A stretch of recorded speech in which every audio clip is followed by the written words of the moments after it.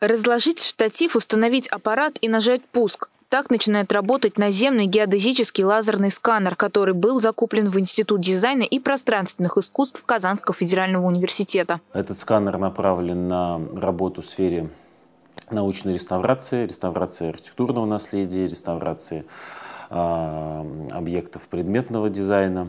Э, то есть полностью он сканирует пространство, э, расстояние вылета его вот, э, стрелы 150 метров, то есть точность э, очень высокая, погрешность очень маленькая.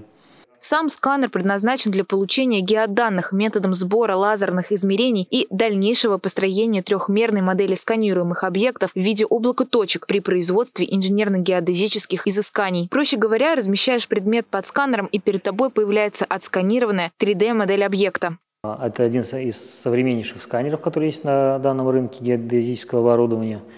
Его основное преимущество – это скорость сканирования 2 миллиона точек в секунду. Его основное преимущество – это инерциальная система, которая позволяет автоматически сшивать облака точек непосредственно в поле, а не тратить на это время потом в камеральной обработке. Отметим, что данный сканер был приобретен в рамках программы развития университета на 2021-2030 годы и реализации программы стратегического академического лидерства «Приоритет-2030». И первым данный сканер появился в Институте дизайна и пространственных искусств. Аделина Абдрахманова, Александр Кузнецов, UniverNews. Thank you